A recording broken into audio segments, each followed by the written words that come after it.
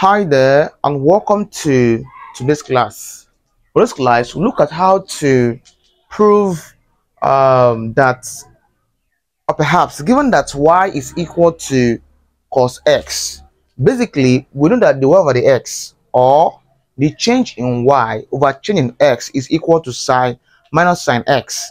So I'm saying that if y is equal to cos x, basically dy over dx is equal to what the minus sine x. Now we are asked to use first principle method to prove that if y is cos x, we know that the change in y or the change in x is what minus sine x. Let's do that using first principle and let's see if our answer will be comparable with minus sine x.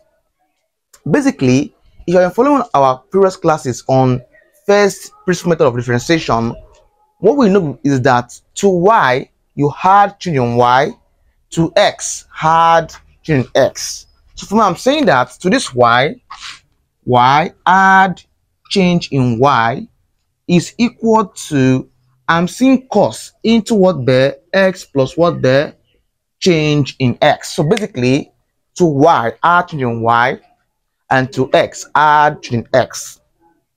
At this point now, I'll take this y to the other side. I'll have change in y. Change in y is equal to what the cos into x plus change in x minus y. Of course, if I take this positive y to the other side, it becomes a negative y.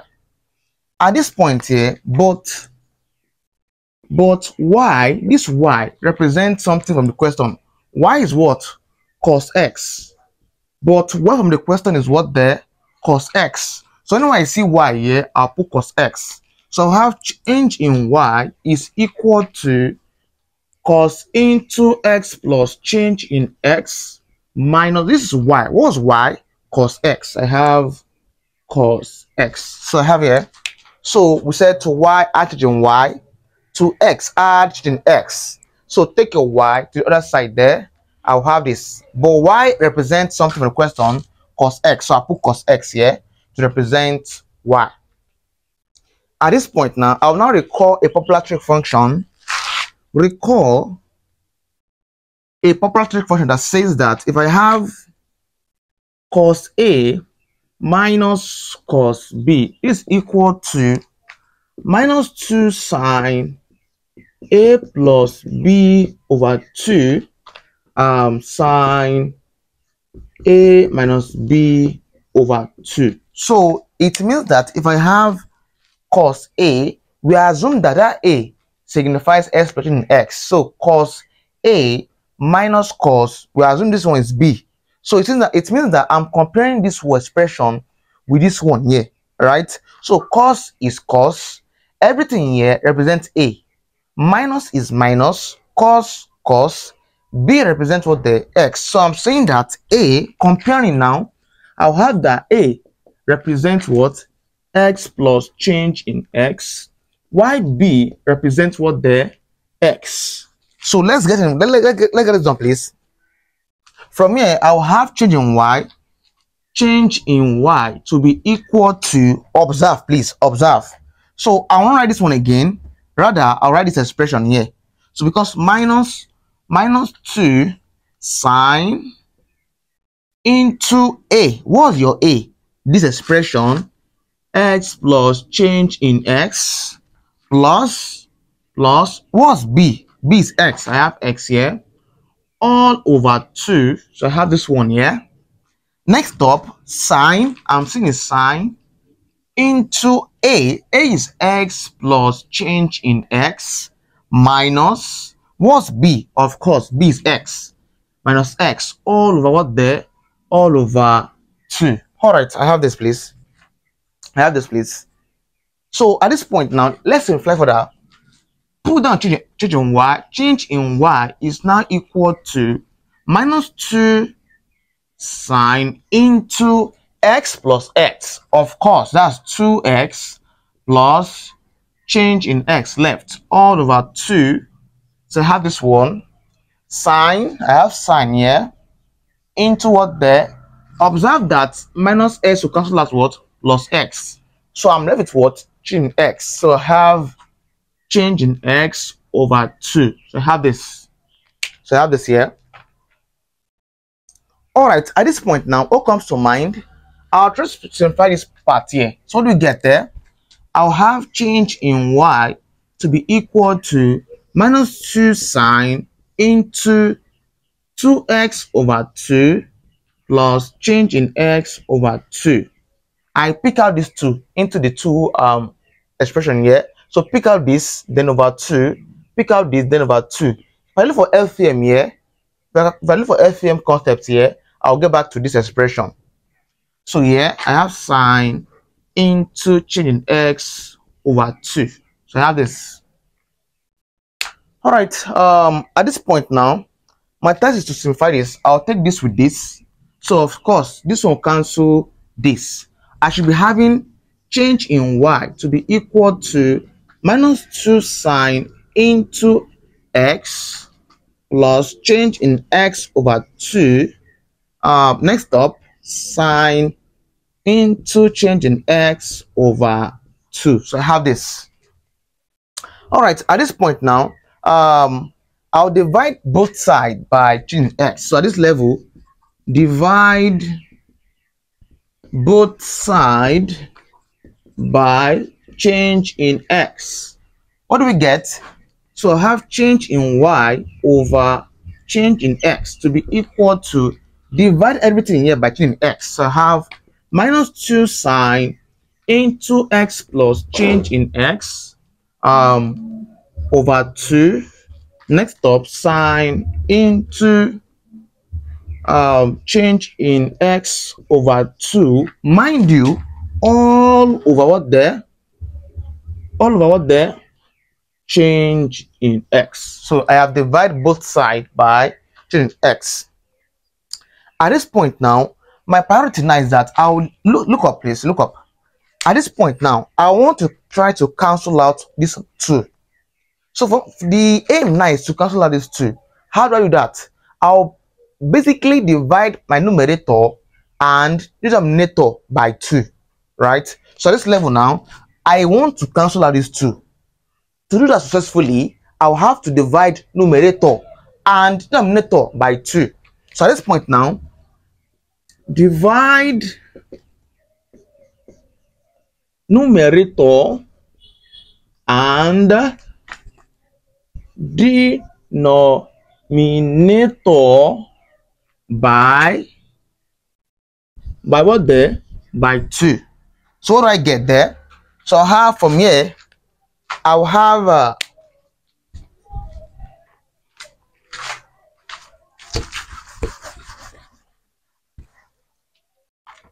so from here i'll have that change in y change in y over change in x is equal to, please observe, write out the numerator. I have minus 2 sine into x plus change in x over 2, sorry, sine into change in x over 2.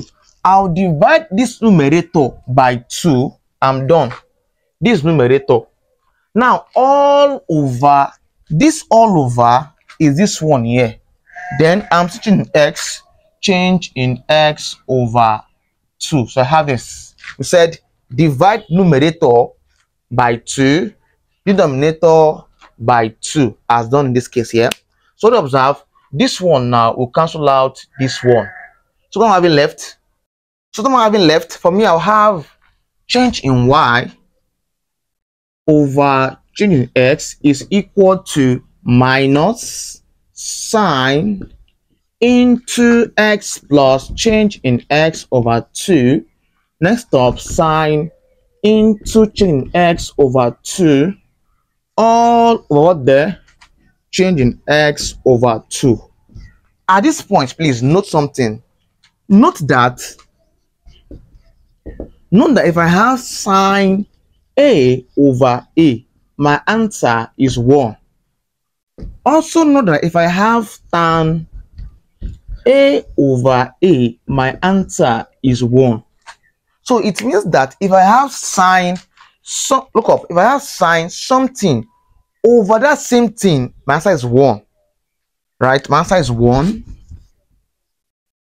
Similarly if i have tan something over that same thing of course my answer is one. What do you observe here? Sine something over that same thing. So this one and this is one now. So i'm saying that from here now i'm saying that sine change in x over 2 right? All over what there change in x over 2 this expression this and this are now what? Are now 1 so if it's, it's true i'll have that change in y over change in x is equal to minus sine observe please. X plus change in x over 2 right? Of course this one and this is now 1 so times 1 so i have this. So i have minus sine x plus change in x over 2 times 1 look at this done please. For me what i get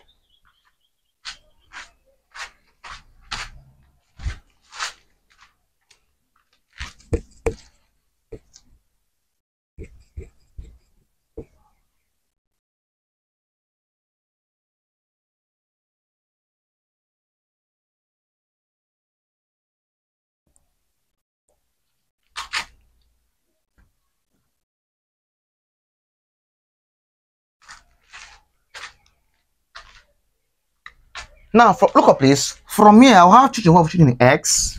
So I have change in y over change in x to be equal to minus sine. I have minus sine into um, x plus change in x over 2.